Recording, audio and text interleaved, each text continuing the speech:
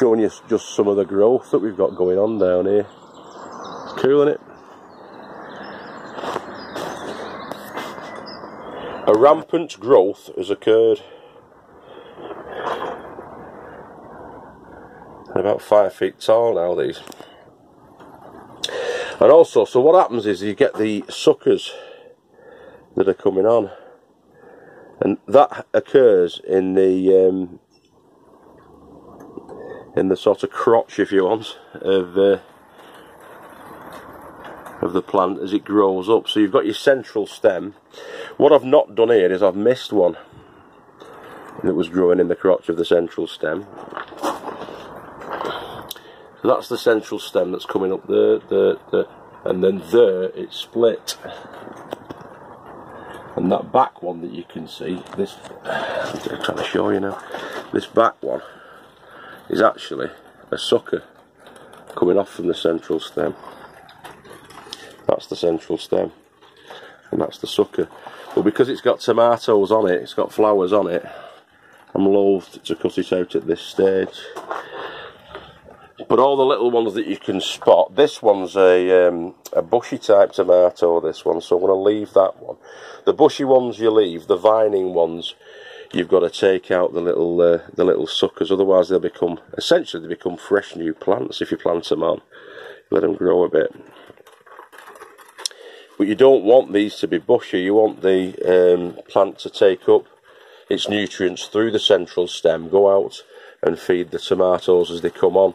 It means you don't get quite as many tomatoes, but it means you get successful tomatoes if you do it that way, by all accounts, for everybody that I've talked to.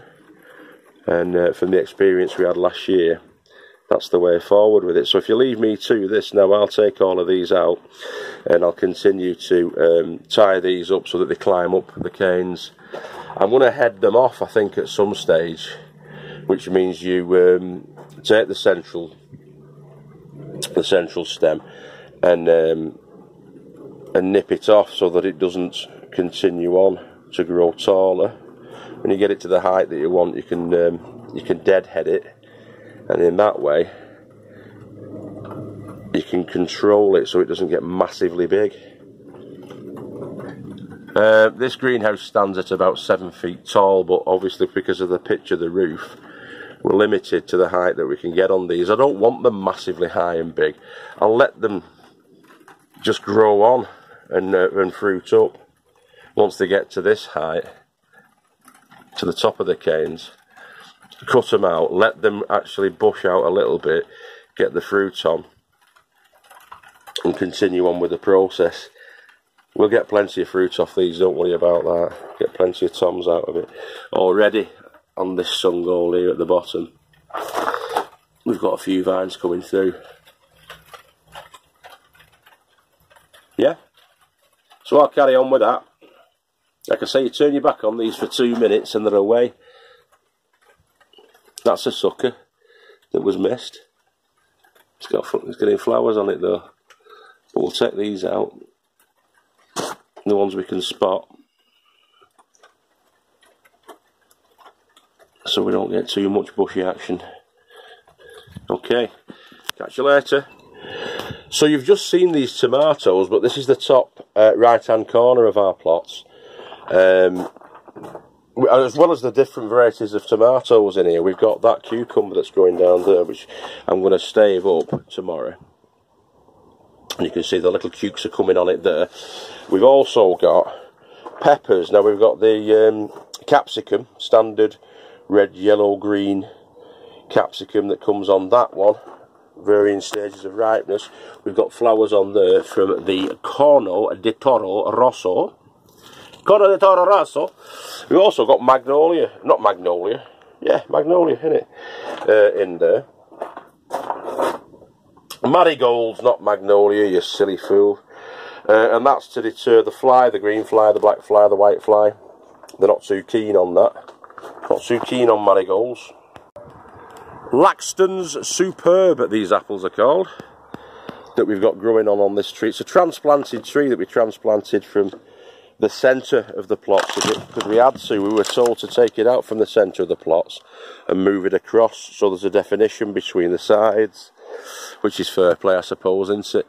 I won't show you too much around here because it's a right midden. But uh, there's the apples, the Laxton's superb there. The pears are coming through. These are conference pears. Some will live, some will die, dependent. They had a load off them last year, but this year I don't think we'll have as many. Although there's a lot, there's lots of them on, but I don't think you'll get them. If we get a third of them to full fruit, then we're laughing because we'll have about 70 or 80 pears off that. There's about 170, 180 pears on that tree. The cherry tree that we transplanted from the middle of the plot, I doubt we'll get anything at all off this year. Because uh, it's been messed about far too much over the last 12 months, but you never know. In this bed I put the French climbing beans, so we've got the uh, the violet, what were they called now? Cosse Violette on this side, and then on the other side, um, Blue Lake, they were called, these ones. These are the green French climbing beans on that side. So we'll see what the results are going to be from that one. There's nothing really coming through at the moment. I mean, there's a couple of little bits and bobs that you can see, but I'll give them about a week more, and then you'll be able to see what the seedlings are like as they're coming through from this top bean, be uh, bed, which is an eight foot by um, my two foot bean bed. These peas in this small bed, um, which is a four foot by one foot bed, um, are on both sides. So there's a Kelvedon Wonder peas on either side of this central bit that you can see there. They'll climb to about three feet in height, so we're guessing they're going to be around about where the bottles are uh, when they're at the full growth, which should be in about five or six weeks. They were planted as seeds directly into the soil. Um, three weeks ago. So that's three weeks growth, that, which isn't too bad, but we've had the exact right conditions for the peas, so that's good. On our big old inherited, i.e. we got it this year, because we got the plot this year, apple tree, it's a cooking apple tree, this one. And we've got loads and loads on. Now last year they all dropped really before they got to full fruition. Um, they dropped the fruit so we're hoping that's not going to happen this year. You usually have a good year and a bad year for things like that with your fruit trees. So this year should be, uh, hopefully, fingers crossed, better. These buckets were done by the kids uh, about six weeks ago, and they've got the new potatoes in there. I think they've got a bit of a mixture. Can't tell you exactly what varieties. About two or three different varieties anyway that've been thrown into the and. Um, they're only half filled, them buckets, so I'm not expecting to get too much from them. Uh, but there they are, there's about 20 buckets there with potatoes in. And they're up at the top left-hand corner of the two plots. That's the sort of mid-plot on the new plot. Mid-plot black shed, which is six foot by four foot. That's going to be moved. It's going to be moved to there next week which will hope, hopefully free up lots of space to put another greenhouse there. In fact, that particular frame is going to be going here, which is another six foot by eight foot greenhouse. Those flags are going to be coming up and moved. The greenhouse is going to go there. I know the apple tree's there, but don't worry about that. It doesn't matter. It's going to be moved slightly away from the other greenhouse onto the six foot by eight foot, the six foot going up, uh, sorry, the eight foot going up this way, the six foot that way, and then all around here I'm going to put other further beds in once that's in position. But that's going to be moved, as I say, over there at the back of the plot. Lovely chrysanthemums around the base of the cooking apple tree. They're lovely. This is the first of the sizable netted greenhouses that we've got say greenhouses, netted hoop tents that we've got. It's quite a size, it's not a bad size. And uh, it's got broccoli growing in here, lots of broccoli, because we like broccoli. And there's lots of it in here, interplanted with the red loose leaf lettuce and the green loose leaf lettuce. That's difficult to say when you've got a false tooth and a plate in, but I've said it and I did well. I think you'll, uh, I think you'll agree there, boys and girls. So in there we've got all together, we've got one, two, three, four, five, six, seven, eight, 9, 10, 11, 12 calabrese, broccoli in there, and lettuce. That lettuce is doing fine and dandy. We're going to get some leaves off that tonight for salad. So that's the first of the big ones. We put the nets over to stop and deter the fly getting on it, and also well, some of the fly getting on it, but uh, especially the cabbage white butterfly because it lays its larvae, which turn into caterpillars, lays its eggs, larvae, caterpillars come out and devour the entire bloody crop. And here's its little brother next door to it. This is on the original plot 36 side. And again, interplanted lettuce, which is looking nice and healthy, not too much damage. I mean, even if the slugs did ever go at this, uh, you'd need an army of slugs to sort of get the way through all of this stuff. And in here we've got um, a mixture, really, of broccoli in the middle, and then we've got um, cauliflowers at the sides. So we've got about 12 cauliflowers in there, and we've got six broccoli down the centre of that. Broccoli grows quite tall. This is about three and a half feet high. This, so it's still going to be scraping the uh, the ceiling when it's uh, when it's at its full tilt. But um, yeah, it's doing all right. Love that kind of stuff. Us, we love the um, the broccoli and the cauliflower. Especially, I like cauliflower, cauliflower cheese, but I also have a real good taste for broccoli as well and calabrese. For those of you that don't know, broccoli isn't what you think broccoli is. Broccoli, what you think broccoli is, is calabrese, which is the big fat-headed, broccoli-looking um, head stems. But real broccoli is the thin purple sprouting on thin um, shoots of broccoli, really. Anyway, that's an aside. I said it'd be a quick tour this thing. So, Sarpo Mira. No, no, I'm, I'm telling lies. I think there. I think it's Desiree in here. So the Desiree or Sarpo Mira. I'll find out. I'll look back in the videos and find out for sure. I should know. I've got a plot plan somewhere, but I'm crap. More spuds in there. I'll tell you what. If we don't get a good uh, potato harvest this year, I'm going to set fire to my own willy and uh, put it out with a with a lump hammer because I'll have done something severely insane to not get potatoes this year. Uh, 30 litre buckets there. Again, they've got they have got Desiree in. I'm certain of that. We put two chitted Desiree potatoes into these 30 litre buckets. The sort of baby Tony O'Neill specials. He uses the 50 litre ones in, but uh, we only had the 30. So yeah, one, two, three of those. Again, potatoes in there. These are a pound a piece from uh, B&M Bargains. These are the storage containers. Two potatoes in there's the first early type in there. Just threw them in because we had some left really, and we've got what two, four, six, eight, ten, twelve, fourteen because there's seven. So there's 14 seed potatoes gone in there. We're hoping to get, if we say 10 from each seed potato. That's 140 potatoes just there. But they'll only be small. They'll only be sort of like little chicken egg size if we're lucky. This is the big Bradley's kids, the kids' cage where we lock the kids when they're being naughty. We shut them in here, put that clasp down, and they can't get out of the of the. And we just leave them in there for only for about five or six days, you know, until they're starved a little bit and they've learnt the lesson. And so in here we've got in fact, let me open it up because you'll get a better look at it, won't you, if you open it up. Oh, I think I tightened that up a little too much, you know, last time I came down I did. Just to keep the kids out of it. Brad's cage. That's our little list boy, that's the uh, mini digger. So over there we've got the rainbow chard. Chard either side, really. We've got the rainbow chard on that side and we've got the bright yellow chard on that side. They were put in about four weeks ago also we've got these lovely a lovely crop obviously of these uh, bindweed god I hate bindweed I despise bindweed each one see each one of these little roots that's coming off from this. If that gets left in the ground it becomes another bindweed it's it's oh god it's I nearly swore then. Uh, down that side we've got broccoli again down there.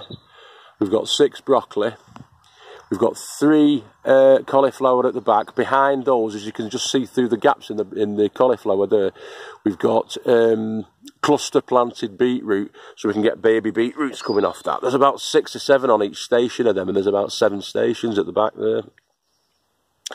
So we'll get about 40, 50 of them. We've got celeriac there. We've got celery there that needs desperately to go into the ground, but a lazy man's not put it in yet. We've got five or six uh, more lettuce, red lettuce this time, loose leaf, down either side there. And we've got three red cabbages in there as well.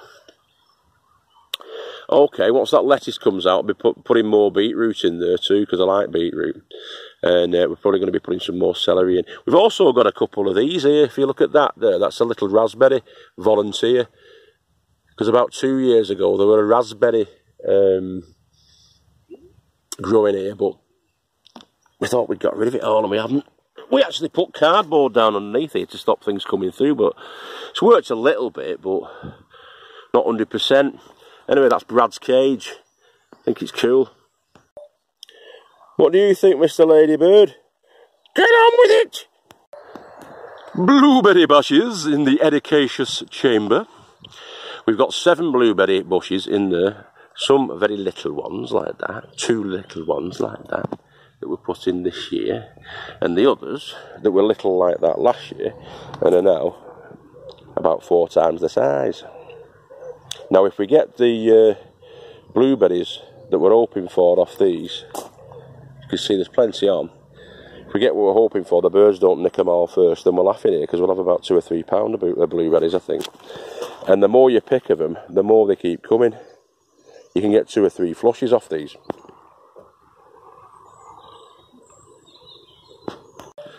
So in the courgette bed, we've only got three courgette plants, but there's two courgettes on that one. They only put in about uh, 10 days ago, these. Obviously they were already plants, weren't they, but uh, they only got put outside about 10 days ago. And we're getting courgettes on them, and we've got a yellow one, so there's two green and a yellow. I just found these at the back of a cupboard at our house that hadn't been touched. So I thought I'll give them a whirl. I just stuck them in the ground, but I need to bury them a bit deeper, don't I? They're pushing themselves out. They're pushing themselves out, the little monkeys. We'll see how they get on. Uh, but yeah, I just thought I'd throw them in there. We've got Jack Be Little and we've got um, spaghetti squash, some seeds that we got from Natasha Goswami. Alright, Josh. Um, against that trellis that I put in last week. So they're going to grow up there. We're hopefully going to get the squashes and little baby pumpkins off that. We've got the greyhound cabbage in here. We had a couple of fatalities in here, as you can see. There's a couple missing that didn't quite make the make the muster, make the cut. But uh, greyhound cabbage is the one that I particularly like. I'm not a massive cabbage fan, but I do like greyhound. This is the trellis that we did um, in the week last week, and as you can see there, we've got the um, I put sweet pea, which is an inedible pea, but produces lovely flowers, beautiful blossoms and blooms, and we've got that on both sides of that. There's me Morakniv. It's a good kniff that. You put my kniff away. Leave your kniff eh, hanging about, could you? Mora Companion, I think it's called, that kniff. Very sharp, I keep it very sharp for the interloper. Up they'll come, they'll hopefully climb up that terrace and get to about six feet high, five or six feet high up here. And completely fill that with lovely, lovely flowers. The bees love it to bits. Yeah? They're quite fond of marigold as well as you can see. There, there's some more peas that I want to be putting in. Um, I'm thinking and contemplating about putting it into this new bed that I put in here at the side of the two little rose beds that I did last week. I'm going to be putting, I think, peas in there this year. Those peas, fix a bit of nitrogen into the soil, and then next year I'd have that as an out and out flower bed for her. Another bed's going to go there as well. I'm going to put some flowers in there for Helen as well. Inside the glass greenhouse on the new side, again, we've got some more um, that I need to get out actually, some more cauliflower. I'm just going to have to find somewhere to put them. I was going to do it tomorrow and get some beds in here and uh, put the hoop tents on them and get the cauliflower in there because we've got a couple of giant cabbage at the back there that I've never had a chance to get out either. Um, unfortunately, I'm going to cry. The um, the grapes have been affected by sun damage, too much direct hot sun damage on them through the glass. And as you can see there, it's popped a few of them off. Quite a few of them actually, about um, two thirds of them. That's what I think it is anyway, on my grapes. It can't all be wonderful and fantastic, can it? I'm not that lucky, am I? But what I think I have done is I took too much foliage off too quickly. That's my feeling and I've exposed the uh, the little baby grapes to too much direct hot sunlight through that glass. And the last couple of weeks, a couple of weeks of really hot weather, I think has scorched them. That's what it looks like to me. And so you've only got the most resilient of grapeklings left on. It's a shame that, isn't it? We had loads on. Anyway, never mind. I'll not have to thin them out, will I? So there's another uh, long red sweet pepper plant there another Corno de Toro di Toro Rosso, a baby cuke, giving us little baby cukes. Mother Earth's already had two of these. She said they were fine and dandy. So we're hoping that they'll come on, carry on, climb up here, up to the top of this trellis and fill this trellis with lots and lots of cucumbers. That's what we're hoping for.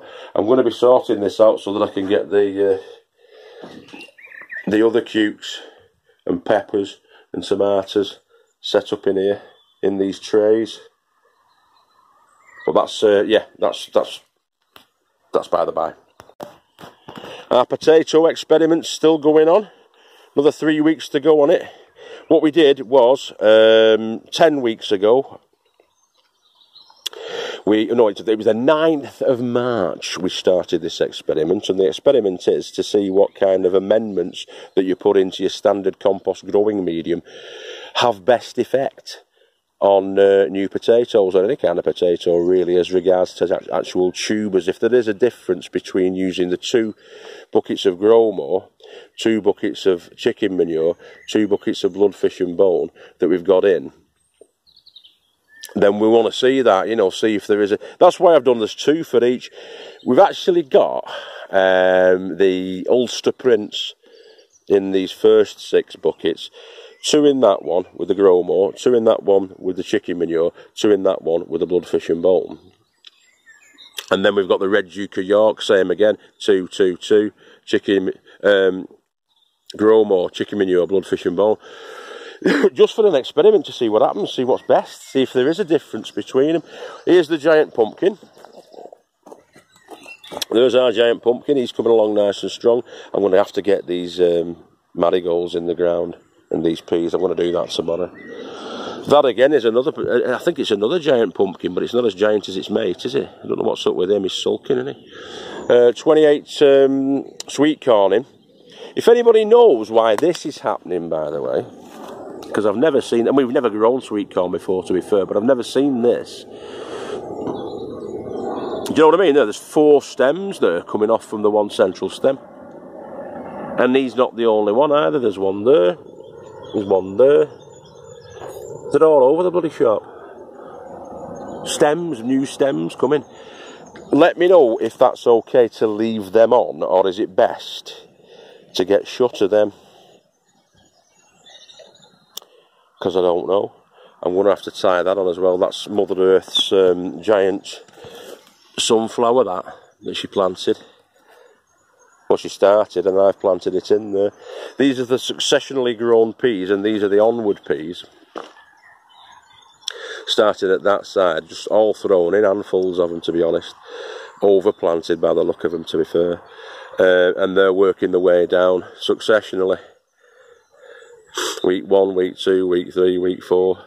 Uh, week four's been in now for four weeks. These been in for eight weeks, and they're all flowered up. So in the next couple of weeks, we're going to be getting the peas off them. We've also got a good crop, as you can see, the bindweed, which is a pain in the uh, in the aris, low, you know, in, in, the sort of lower back area.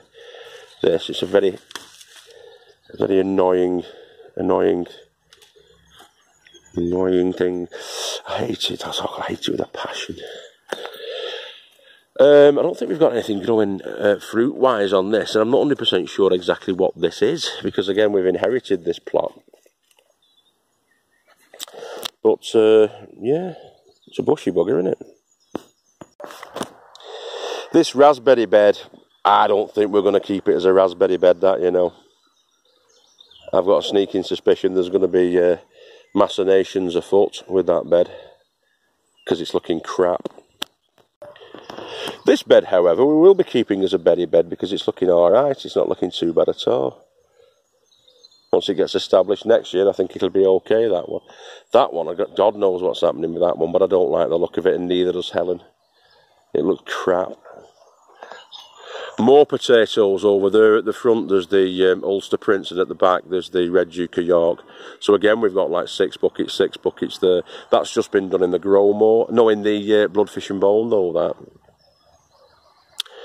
Uh, and the same with those there, those potatoes, and again those 30 litre buckets that are there. Uh, strawberry beds, got strawberries. Got strawberries coming on.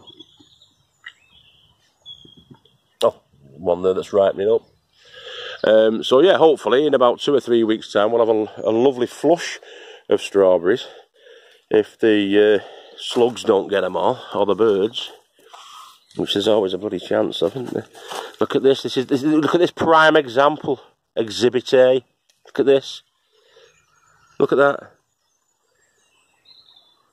Slug that.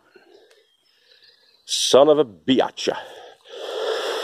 Uh, goose gogs. See, we've got any goose gogs on. I've not looked for them. Ah, yes, we've got goose glog, goose gogs, goose gogs, goose gogs galore.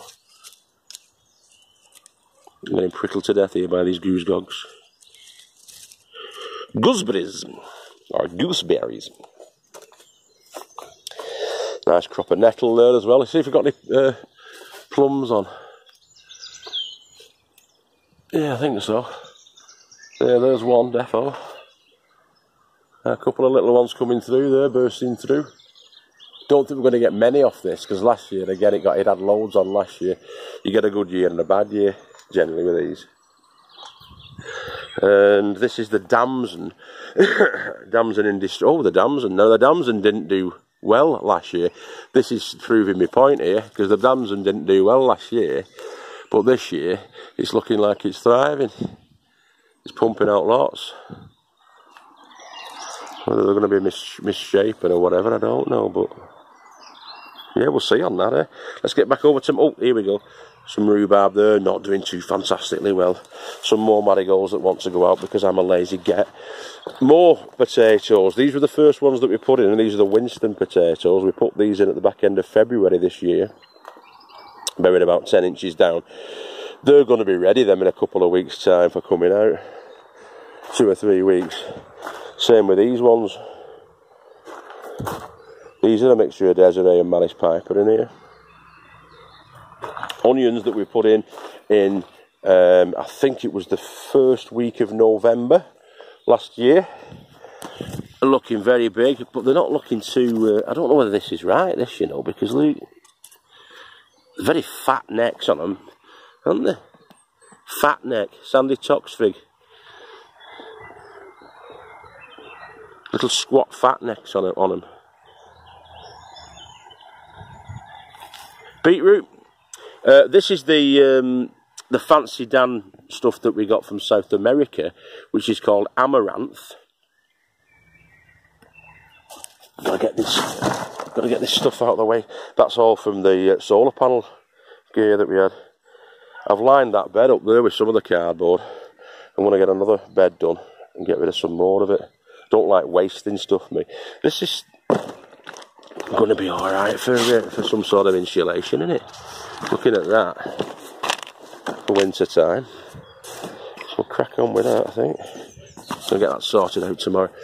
Um, again, more brassicas in here. Yeah, we've got round head cabbage and we've also got cauliflower in there. This is ridiculous. Uh, the amount of growth we've got. That, uh, in fact, if you can give us some tips, can you uh, blanch and freeze pak choi? I know you can do it with spinach. But when you're doing it at home, how do you do it? If you can point me in the right direction to a video on it or something like that, or just let me know downstairs in the comments there what to do, then I'll be much, uh, it'll be much appreciated. Thanks a lot. because we've got loads of it and it's got to come out this week because I'm sure. I, in fact, I know I know it is. That one is that's starting to bolt there, and I want to uh, I want to save as much of this as we possibly can, so we can eat it. I mean, blanching and freezing, you're gonna you're gonna lose the crispness, but you can still, I'm guessing, make soups out of it and all thought and all sorts of things like that. I'm rambling, answer. More onions in here, more garlic in there. I'm leaving this even though it's got the rust on it. I'm to leave it and let it do its very best and then just not plant any uh, alliums for three years. Oh God, I've got indigestion now. I had a burger at that. Uh, went to a do before and a burger at Hay Hall. Almost forgot this bed, the central bed. Uh, it's got swede in it. Uh, five or six swede down each side. And then the red cabbage in the middle. That swede's got to come out pretty soon. It's the size of your bloody fist. As it stands. It's got to come out. You can eat the leaves off that as well. So, uh, again, we're going to be probably trying the old blanch and freeze with the leaves as well. I don't like wasting nothing if I can get away with it. The broad beans as well. Friend of the bee, the broad bean. The bees like them.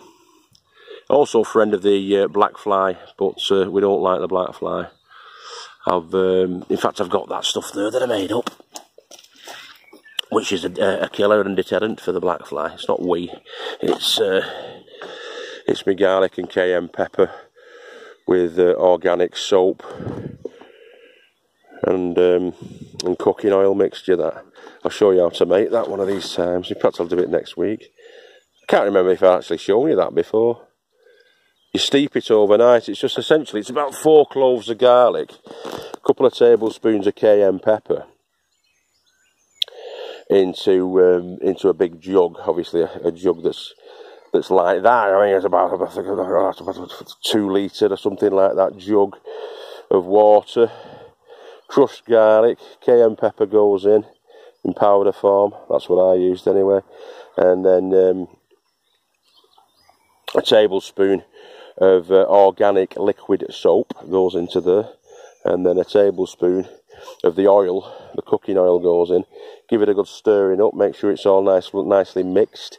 Strain it so you're not getting all the bits in it.